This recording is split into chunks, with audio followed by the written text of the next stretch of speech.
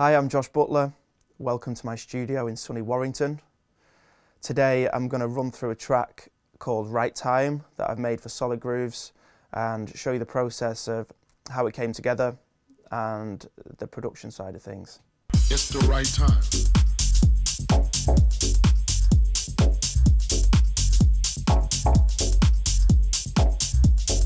So today I'm going to be running through one of my tracks called Right Time, which is on Solid Grooves. This track um, came around because of the vocal sample that I heard in a podcast. Um, I'll play it for you. I was just in the car listening to a podcast and uh, heard this little vocal It's the right time. and thought it needs to be a track. So um, came to the studio the next day and recorded it in, um, and then started to build a drum track around it and yeah, just progress things from there really. So once I finished the track, played it out a few times in the club and wasn't really convinced that it was good enough to release. So I actually left it for two or three months, just sat on the hard drive, and then um, sent it to a few friends just to see what they thought. And PAWSA got back to me and said that he'd been playing it at all of his gigs, um, and one in particular at uh, Kaluki in Manchester. Um, and he said that another, the two Dutch guys came over and started taking pictures of the CDJ because they wanted to know what the track was. So um, he said he really wanted to release it. So, you know, it had to be done. So I'll start um, to break down some of the elements. I think once the vocal sample was in, it was probably drums that was next. So, um, you know, straight up 4 4 kick drum. Well, the sample is just something that's been on my hard drive since day one. Drum 11 with um, some pretty basic EQ. You know, I always like to cut the middle out of my kick drums, five to 700. You know, this one's about 600. 600 hertz, um, which just leaves a little bit more room for some of the other elements, especially like claps, snares, any chords or vocals. I mean, it's you can hear it's just a little bit more poppy without the the middle cut. You know, obviously that's all dependent on samples and tracks. Um, so yeah, anyway, kicks pretty simple processing, sounding nice and fat. So starting to build some drums on the, on the TR8. There's a nice simple closed hat and an offbeat open hat. You know, everything's recorded in already. And so I actually run all of the signal from this through my uh, outboard effects units. So even before it's gone into the computer, it's already compressed, it's um, saturated, and uh, usually sounding pretty tight. And so there isn't actually much processing that goes on inside the computer for me, apart from some EQ. You know, rolled quite a bit of the top end off here. Um, and then there's another layer of hats, same process. Quick pattern from the TR8, ran through the, the valve compressors. Um, you know, it's got quite a nice swing to it, very loose, nothing too um, mechanical sounding. Just layering more hats and getting the, the rhythm going. You know, again, the, I tend not to do too much processing on this sort of thing because that will um, that will come again later. I, I tend to do like lots of small increments of processing along the way, different stages of it. So there's one on the recording process, some basic in the box processing, and then when the track's finished, I'll run it all out to this valve mixer and um, EQ and tighten things up even more. The swing is um, purely from the, the TR8, just um, simple adjustment of the shuffle knob, and um, it sounds like two slightly different settings of swing as well. You know, I mean, you solo them like that, it, it almost sounds a bit messy. But I think um, when it ties the, when you tie everything together, it helps with the flow. You know, it helps things sound more natural. I never like things to be too um, too quantized. I always like things to be quite loose. Um, okay, yeah, same same process with the clap. Sounds nice and tight because it's ran through the Drawmer compressor, and then I've actually compressed it in the box as well with this beast. This is a Nomad Factory, quite a hard, harsh compressor. Um, few, few crash cymbals, you know, nothing groundbreaking. 909 crash. Um, so the ride again from the TR8. Most of my drums are coming from this thing. Um, and then I've put some chorus on it to widen things out a little bit. Makes it sound a little bit more washy and set back in the mix. A few layers of shakers and a tambourine. Tambourines. Lots of lots of drum layers in this track. I'm not going to go through each one and explain it because it's it's all the same kind of processing. You know, it's uh, a bit of EQ with the the bottom rolled off for hi hats, some of the peak frequencies knocked out with a notch filter. Um, yeah, light compression and, and more EQ. Same thing on, on everything. Just the, the EQ is uh, all um, set individually to make sure that things are sitting well. So for example, this one is giving a lot of the high end out, whereas uh, as I mentioned before, I think it was this one. I'd rolled a lot of the top end off. So when you put them together, it, it gives it more space. There's more room for the sound to to breathe. Okay, let's break down some of the vocals now. So as I mentioned, it was from a podcast.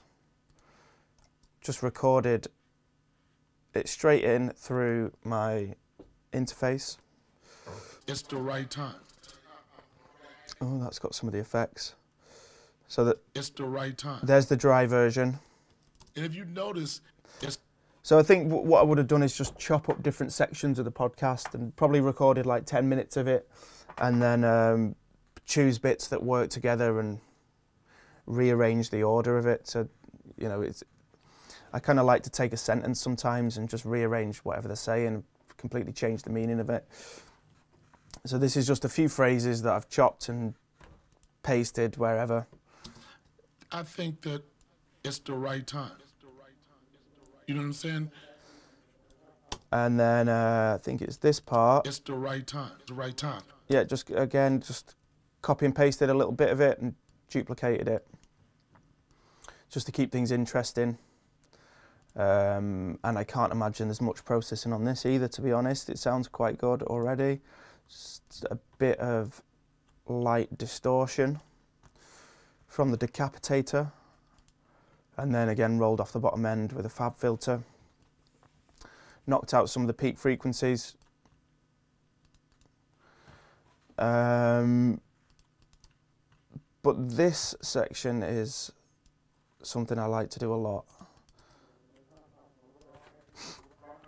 So I would have, um, I would have got the vocal, the dry vocal, turned on the warp, and uh, stretched it out a little bit. I'm just going to try and recreate something quick.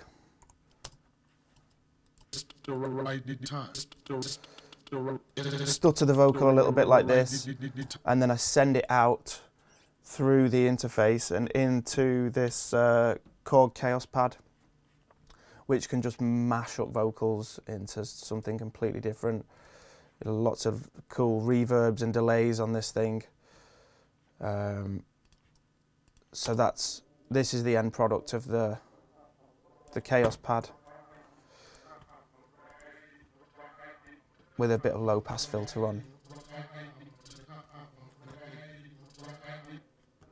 Low pass filter and chorus. And that just sits in the background of the mix and uh, Yeah, I, I think I, helps to build the track a little bit more. Keep the vocal familiar as well. it's the right time. Especially in breakdowns, I like to use this.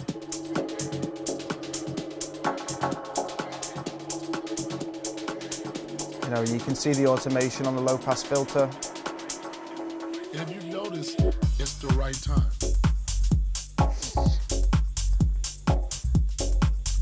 Okay, so that's the vocal. Um, let's move on to the bass. I think that it's Bass doesn't have to be anything too complicated, I don't think, as long as it sounds punchy and carries the track through. Especially in, you know, house music is not about overcomplicating things, for me anyway. Nice and simple, dance floor tracks. So two notes on the bass um, from Operator, Ableton's own FM synth. Um, yeah, Hot Tubes preset from Saturator, which is wicked. Should highly recommend that one. Uh, so that's probably the only preset I'd use from uh, Saturator. Then I've used the Nomad Factory compressor again, and uh, and the FabFilter. So that's the sub layer of the bass, and then there's a more mid-range bass, which came from my TB3 what's it, TB03. Let me let me dig it out of the drawer.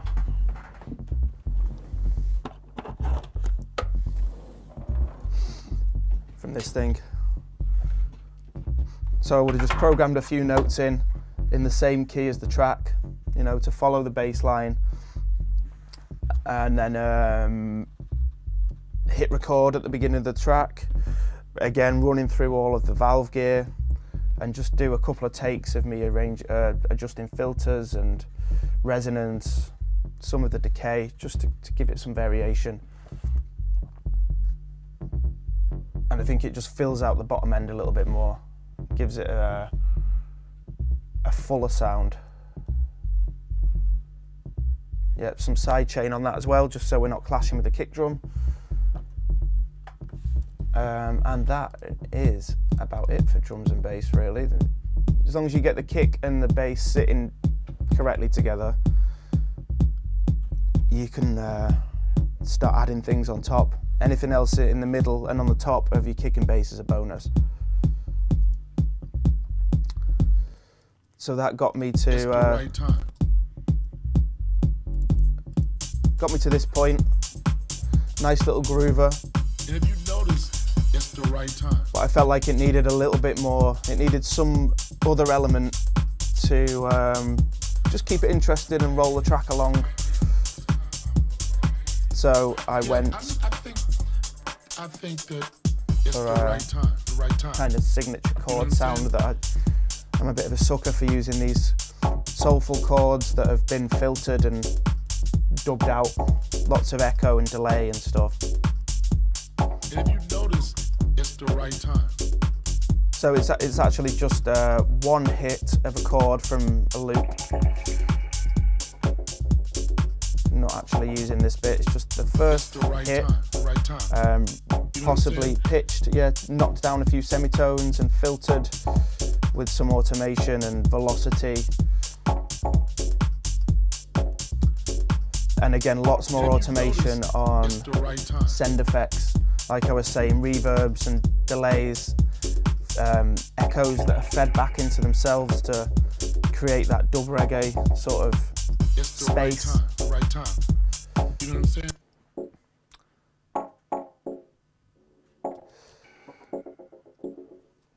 So the uh, the the pitching sound in the background is actually from this reverb unit, the Rack Shack.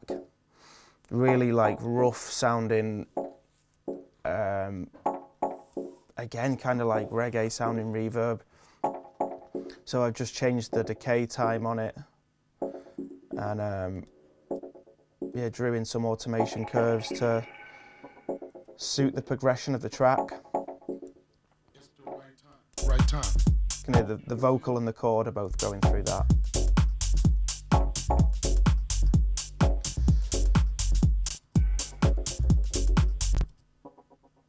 Okay, a couple of extra little chord hits there. Just for variation. Let me tell you something. It's the right time. Some more Kaoss pad bits.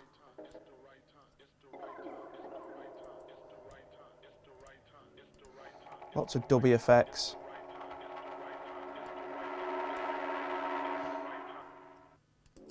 Creates a nice build up. All these sounds were from the original source, from that chord sample. Okay, so that's the chords um, with the effects through the Kaoss pad and whatnot. Next thing was um, some effects, you know, some white noise sweeps and maybe a snare roll. Let's see, a string for the breakdowns. This is probably the cheapest string sample in the world, but I use it in every single track because it's it's just really rough. Um, I think it was from a Hacienda sample pack. So I've just given it a simple automation curve on the volume in a simpler. Um, I mean, it's very, very subtle in the mix, but it's there. Let me tell you something. It's the right time. In fact, a lot of these effects, this this whole effects group is very uh, quiet in the mix by the look of it. You can hear the snare building up, but Have you noticed? I mean, these things really do sit in the background and just create a bit of atmosphere and some space. Which is uh, the same as this thing, you know. Uh, I'm all about creating uh, like a kind of environment or a, an, an atmosphere in the background of a track, rather than just having straight up drums and you know, rather than just having the elements of a track, having a bed in the background that helps uh, create a space. So this is just a breath, you know, possibly from the same podcast. I can't remember. I think there's some sidechain on there and some EQ.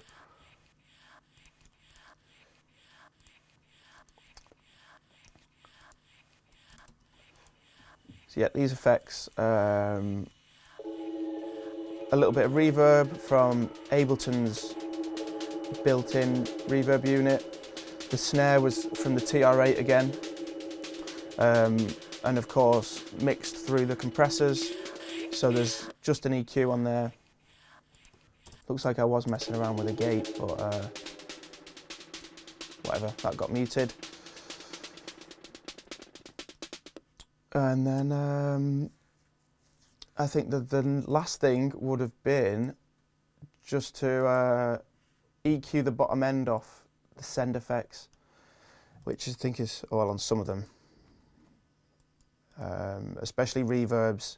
I like to just knock off all of the the bass frequencies, just so things are being kept tidy, you know. Because mixes can get a little bit muddy if you're starting to send drums through reverbs you know, I've, I, was, I like experimenting with kick drums, putting reverb on kick drums now, again to create space, but it can get very messy in the mix. So you just got to be careful of what frequencies frequencies are being sent through those units. Once the track is finished and arranged in the box and mixed, you know, to a certain extent in there, you know, as you've seen, it's all pretty basic processing. Um, I will then split the track into different stems, bounce it all out as audio. So drums, bass, vocal, chords, send effects, and then um, patch it into this mixer. So um, yeah, I'll bring the, the drums up on a couple of channels, and then you know all the stems will be split across different channels, and then EQ'd accordingly. Um, and I actually have some reverb and uh, delay guitar pedals on the send effects of this mixer. It's got a, a send and return one and two. So, um, you know, that just helps, again, build space and a, a bit of atmosphere um, and sounds great through this analog mixer as well. Really gives it some sort of uh, harmonic distortion that can't be created inside the computer. It's all old tubes and valves inside this thing. So once it's all EQ'd and uh, the levels are balanced nicely, um, you know, which can sometimes take a full afternoon, I'll probably do three or four different takes of it and at different levels and different EQs and stuff, get things sounding nice and tight and punchy, and then I'll record it back into the computer just as two um, stereo channels, left and right, and that's the pre-master. So that is what's then sent to the label or the mastering engineer as the final product. That's about it really. Very simple track.